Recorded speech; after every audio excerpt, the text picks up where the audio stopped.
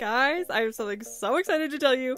Good American sent me a package. I get to try on jeans and a bodysuit from them, and I am so excited. You know, I am just mostly like jeans and a t shirt kind of person, but I'm so excited to step up my game.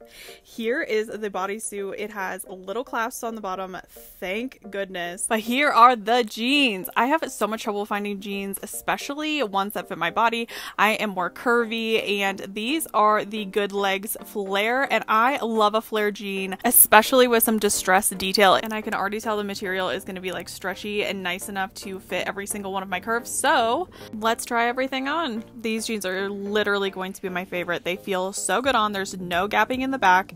They hug every single one of my curves. The length is perfect. I am just so happy with how well these fit my body. And these are definitely Brooke and Pippa approved.